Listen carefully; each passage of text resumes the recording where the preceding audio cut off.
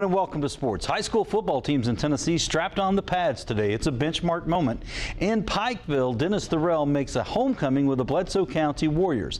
He has a very impressive resume and big goals for his team. You step into that position, you fight your tail off not to ever lose it. Okay. Don't give it back. You got me? Okay. Good work. Dennis Therrell is back home. He's coached all over the country, from Alcoa High School to Campbell County and Rhea County.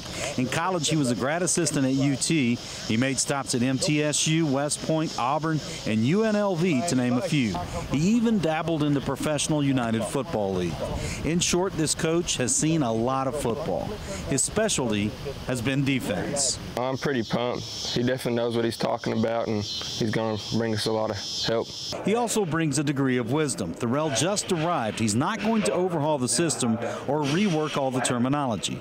The Warriors will stay with a wing T and a 3-4 defense. He's going to adapt to the team, not them to him good football coaches adapt their assistant, their systems to the ability of their players. It's been smooth. Um, we got a couple transfer kids in here that's going to bring a lot more speed to a team than most 2A schools would have. He's walked many sidelines, developed many players, and diagrammed many schemes in his travels. He says coaching pros is the most straightforward, but there's something special about guiding teenagers.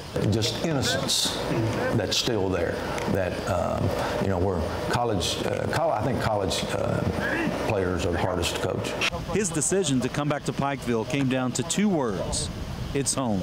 I think he's going to give us a good chance to go deep in the playoffs, make a good run, and just uh, simply win football games. My goal is, uh, you know, I want to win a state championship. Uh, like I told them, I didn't come here to play. I came here to win. And the UTC Mocs football